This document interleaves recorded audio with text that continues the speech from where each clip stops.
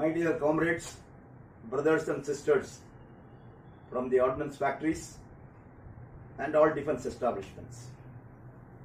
At the outset, I am grateful to you on behalf of the All India Defense Employees Federation for all the support and cooperation whatever you have extended during the last more than three months period when we are in the field of agitation and struggle against the arbitrary decision taken by the present government of India, violating all the previous assurances and agreements to convert our 219 years old Indian ordnance factories into a corporation, into a public sector.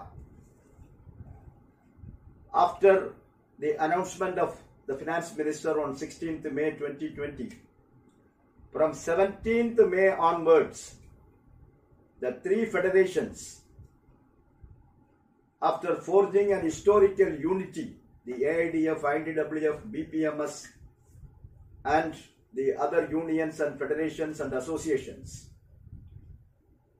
we are in a war path for justice, for national security, for defense preparedness, and of course for protecting our status as a defense civilian employee, as a central government employee. On the 4th of August 2020, after more than 99% of the employees of ordnance factories and the DGQA units inside the factories gave a mandate that against the decision of the government to corporatize the ordnance factories, we have to proceed with an indefinite strike. We know we are in an odd situation. There is a serious threat in the country about the spread of the most dangerous COVID 19 virus. Throughout the country, Section 144 has been imposed. The state civil authorities, the police, are not allowing more than five people to assemble in a single place at a time. Factory managements are not giving permission to conduct gate meetings or demonstrations. But in spite of all these odd situations and difficulties, I salute you, comrades. Overcoming all these crises and difficulties,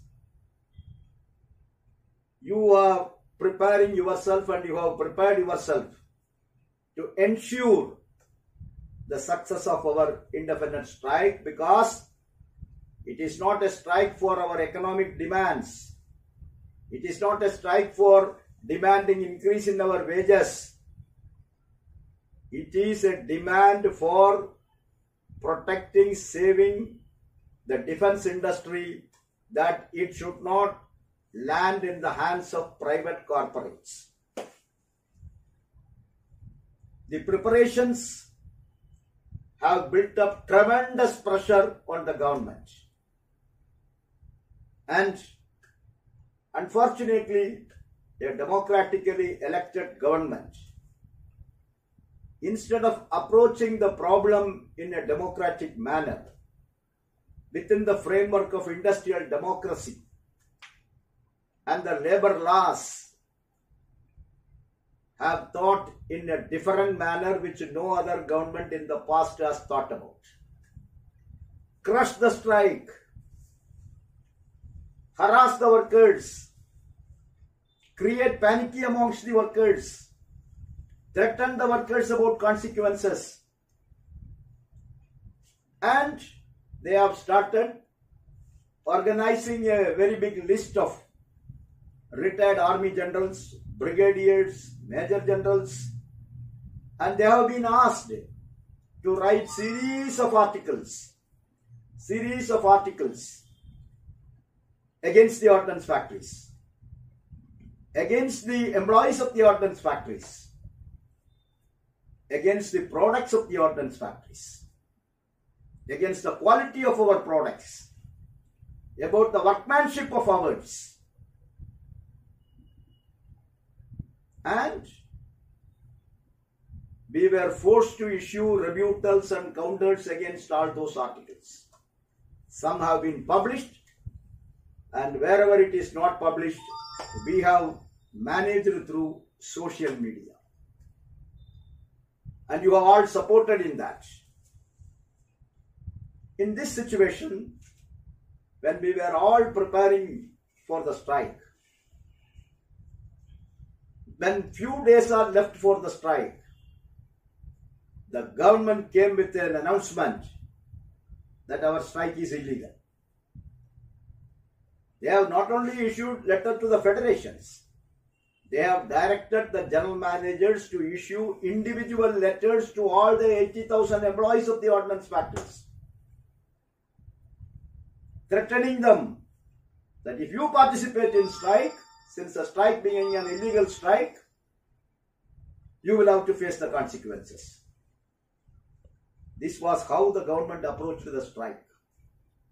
Our president S.N. Pathak Saab is in the trade union field for more than 50 years. Five decades he has completed. I have also almost completed 40 years, four decades in the trade union movement.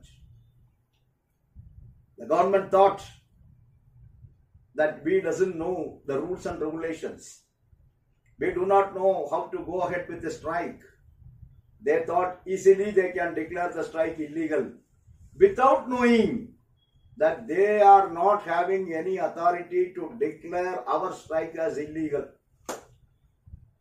They are not the authority to declare the strike illegal under the Industrial Dispute Act 1947 if at all our strike was illegal.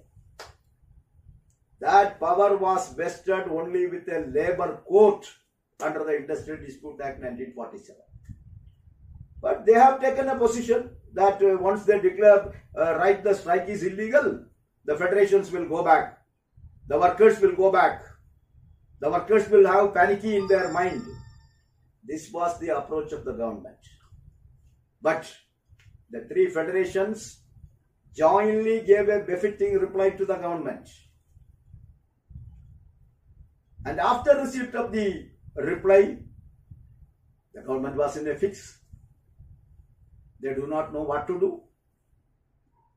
In this situation, comrades, the Chief Labour Commissioner once again intervened and convened a joint discussion, a conciliation proceedings on the 9th of October 2020. We convened a meeting of our all the 41 ordnance factory unions president and general secretaries through video conference. We thoroughly discussed with them about the preparations, our strength, our weakness, everything was discussed. After listening the views of the 41 ordnance factories leaders, then we had a discussion with our office bearers of the federation through video conference. Then we had a, again a meeting of the three federations. Of course, we used to invite CDRA also. And then we worked out our strategy and we were prepared to place our arguments, our logic, our justification before the CLC. Unfortunately, some organizations openly came with a declaration that they are not going to participate in the strike. Uh, they will be attending the factory when we are all striking. But the matter of satisfaction is the branches of those organizations in all the 41 ordnance factories took a different position. They took a decision that it is a matter of life and death. The demands are not for a particular cadre. The demand is for saving the defense industry from sale, from closure, from liquidation. Therefore, they took a decision that they all will participate in the strike. Whatever happens, let it happen. I salute them also. Now, on the 9th, all of you know, all the federation leaders, the six leaders who participated in the conciliation proceedings, have effectively placed their views before the CLC. And all of you must have seen and listened to the arguments, to the way we have the way we have presented before the CLC, especially Comrade S. N. Pathak, President of the Federation, and myself. At least we are satisfied. We have done justice to our cause. We have done justice to the employees of the ordnance factories who are looking towards us that the leadership will be saviors. The leadership will protect us. The leadership will not surrender before the government. And we have taken all pain. With all sincerity, with all commitment, with all devotion to protect your interest before the CLC proceedings. A settlement has been reached. The minutes have been issued. And based on that settlement, the indefinite strike has been deferred for the time being, comrades. It is not a victory. It is not a success. Government has not gone back from corporatization. But within the legal framework of Industrial Dispute Act, when the conspiracy of the government to declare our strike as illegal failed, then they took plea that under section 22 of the Industrial Dispute Act, when a conciliation proceeding is pending, we cannot go for a strike. They thought that they are only clever enough to put forth the views like this. But then we insisted that you record a failure report because two conciliations already over for the present strike and one conciliation has already taken place in August 2019. So three conciliation proceedings are pending. How much more time you will be requiring? Therefore, under the provisions of the ID Act, you record a failure report. The CLC has to record a failure report. You forward the failure report to the government. Let the government take a decision under the same provisions of ID Act. But the Chief Labour Commissioner was insisting that we have not assembled here for a failure report. Let us have an open mind. Let us try to resolve the issue. Let us come forward to discuss and sort it out. He told we are prepared, but the government is not prepared. Government is not yielding even an inch. So what is the fun in prolonging this negotiation, this conciliation for months together? Let us record a failure report and finish it off. Then let the law take its own course of action. But since CLC was going on insisting, then we told if section 22 of the Industrial Dispute Act is applicable to the trade unions and the workers, then section 33.1 is applicable to the employer. In our case, the Department of Defense Production, Ministry of Defense is our employer. So, he has to accept that he will abide by section 33.1. And what does section 33.1 says?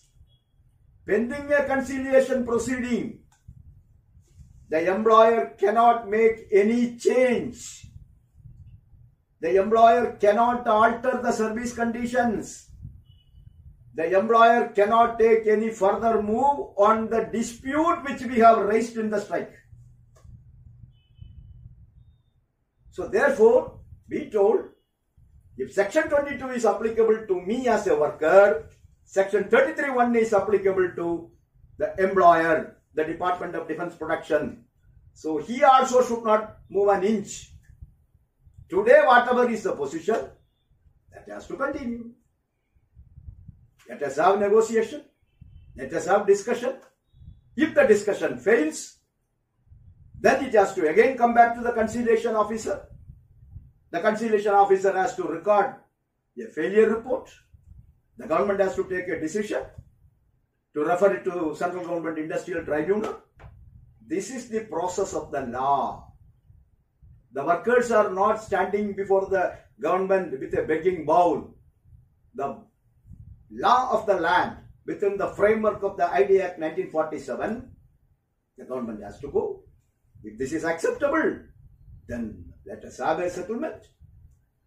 Then, after discussion, you know, comrades, the meeting started at 11.30 in the morning. It went up to 4.30. Then a break of one hour for preparing the minutes. Then another one hour discussing each and every word in the minutes and for finalizing. And finally, the settlement has been reached.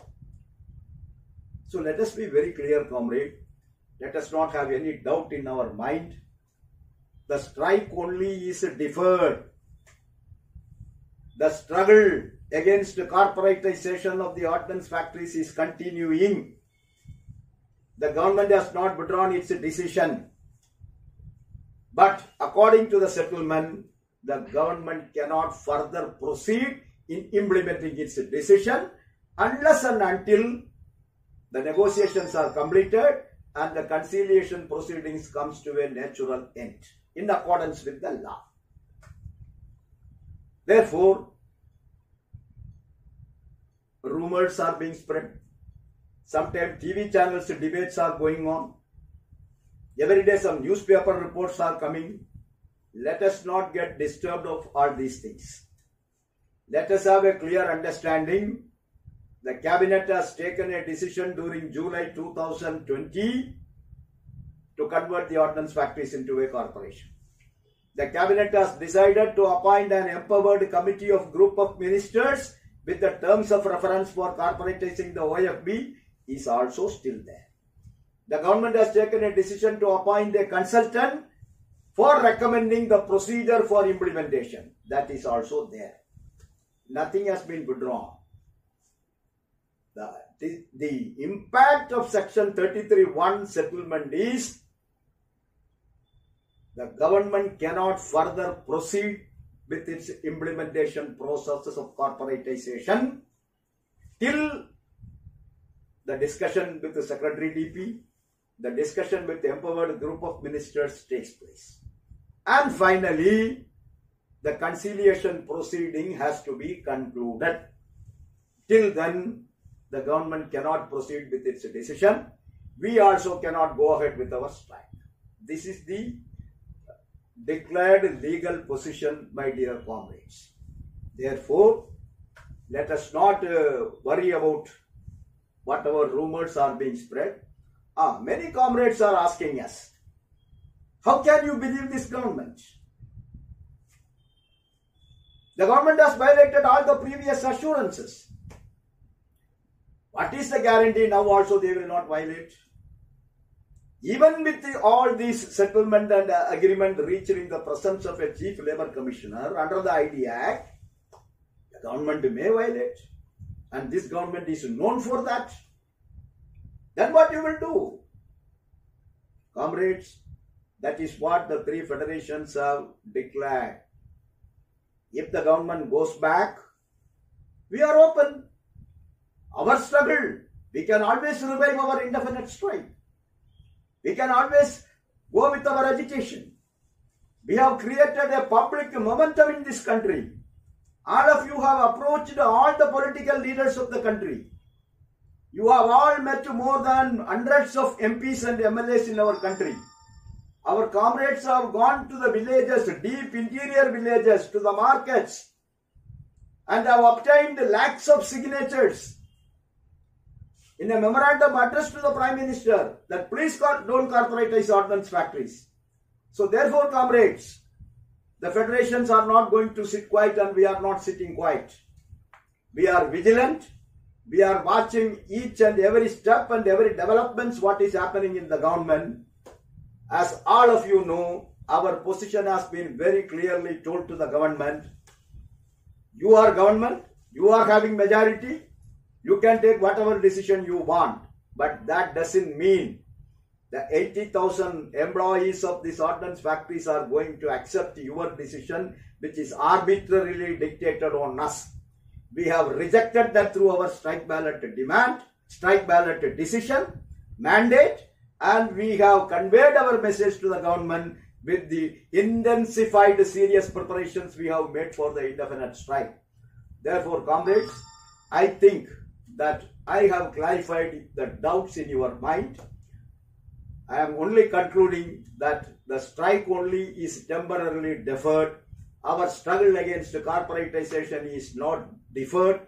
That is an ongoing process. It is a long drawn battle. We will bring all patriotic citizens into the fold of this agitation and we will carry forward our movement for saving, for protecting our 219 years Indian Ordnance Factories and our service as a defense civilian employee, as a central government employee. Thank you very much, comrades. Wait for our next phase of agitation. Thank you, comrades.